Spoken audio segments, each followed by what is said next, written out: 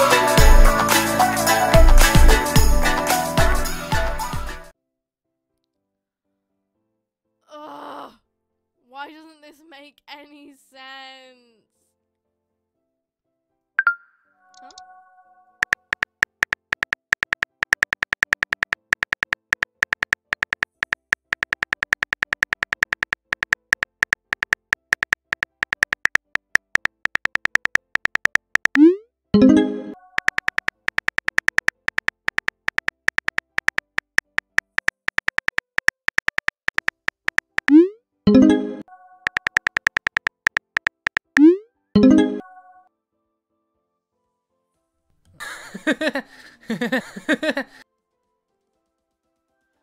laugh at me. This stuff is hard. but you just asked me why you need to draw a fruit on the side of the circle. The words are very similar. I said tangent, not tangerine. Oh, whatever.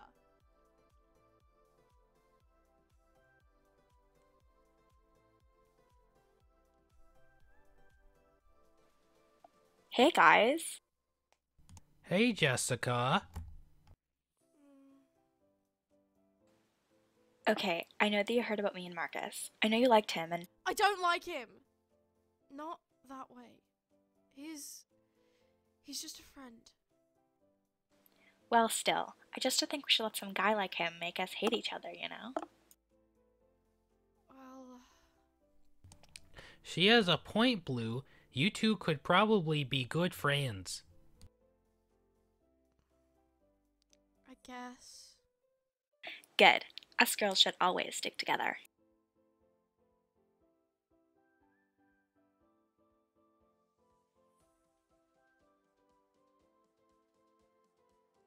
She buy it?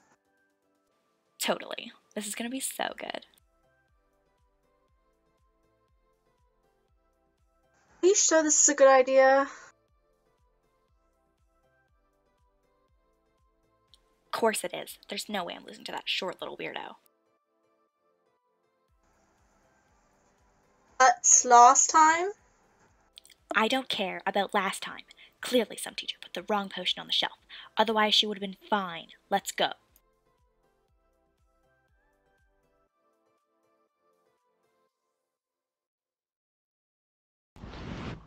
No, no, no, no, no! This can't be happening. She's just a girl. An innocent little girl. There has to be some mistake here. What do I do? What do I do? What am I supposed to do? Yo, dude, what's up?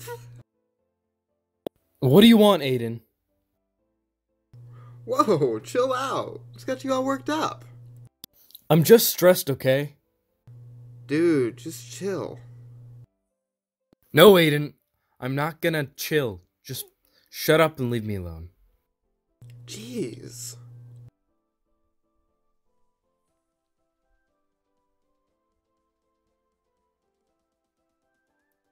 Hey, Aiden. What's up? Marcus just freaked out on me. What? Really? Yeah, he shouted at me and yelled at me just to leave. That's not like him at all. Yeah, well, that's not the only thing that's not like him. Oh, Blue, I really need to talk to you. What is your problem? What? You've been really quiet recently. You're acting strange every time I see and talk to you, and now you just suddenly shout at Aiden, who's been your best friend for years. What the heck is the matter with you? Blue, please calm down, because I really need to talk to you about. No, I won't calm down. You you can explain what's going on because. What the. Get off me! What was that for? You were making people stare. What is up with you, Marcus? This isn't the Marcus that I became friends with on my first day here. The Marcus that told me everything. But now you're keeping secrets. What? No, no, I'm not. Oh, oh really? So you so you didn't kiss Jessica at my party, huh? You know about that? Yeah, I know about that. But it's funny that I didn't hear anything about it from you. Look, I'm just really confused and stressed right now, okay? If your tongue wasn't far enough down her throat, Marcus, I'm so done with all of this right now cuz Because you're my sister. What? That isn't even possible. How on earth did you come to that conclusion? The other day when I convinced you to talk to your mom about your dad, well, my mom got a phone call because girl wanted to meet her biological father, which is my dad. So that means that my dad is your dad, and that makes me feel disgusted because of my feelings and because we're. My dad's dead, Marcus. Wh- What? Yeah. I wanted to know what he was like because he died before I could even get to see his face or get to know him. My mum never had pictures of him. It hurt her too much. But, but your little sister. Is adopted. My mum's friend was in a car accident and we promised we'd take care of Kyla if she didn't get better. Oh. Wow. Now I feel so stupid.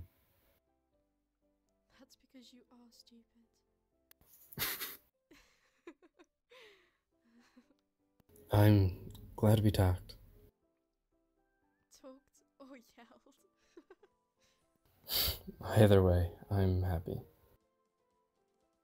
Me too. We should probably head back. Class will be starting soon.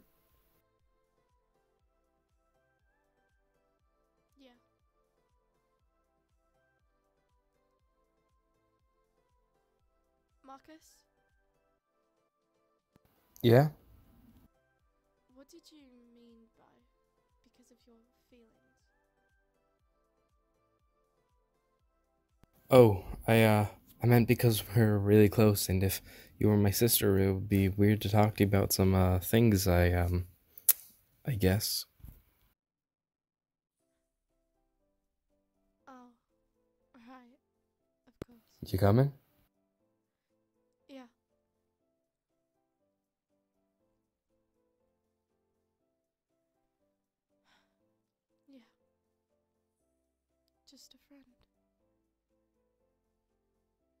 And I do believe that means that I win again. Oh, come on! You so cheated that time. Just because I have amazing good looks and I rock at cards. Just because your mum says it doesn't mean it's true, Aiden. Ouch. That one hurt.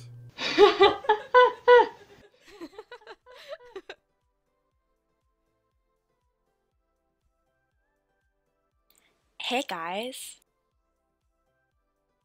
oh, hi, Jessica. Hey, so I want to invite you guys to come out on Saturday. Where? There's a cafe near here, and every Saturday they're going to be doing an entertainment night. You know, like quizzes, stand up, bingo, all that stuff. Mm, I don't know about that. Questions will probably be targeted towards adults anyway. Nope, it's just for teenagers. That's actually pretty cool. What are they doing this Saturday? Dunno, we're just gonna have to find out. I'm in. Guys. Totally. Sure, I guess. We're in! Cool. It's on the corner of Offshore Avenue. I'll see you guys there.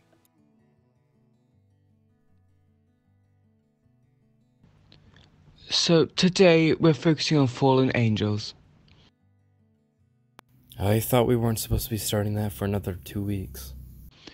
That was the original plan. However, I have moved it forward because of um uh, a, quiz coming up. So you all need to be prepared. A little weird. Okay, so the fallen angel is a rare being that is very powerful. Their magical powers are unbelievably strong and their bodies are very delicate. They can be hurt by some things that have no effect on normal humans. They are said to no longer exist because of their powers. They were dangerous and attacked the humans that they once lived with happily. The angels would be killed if one was ever found. Now there are none left in existence. Sir, do you think that there could ever be a good fallen angel? I think it's possible. After all, not everything is bad. Do you think there are still some fallen angels left?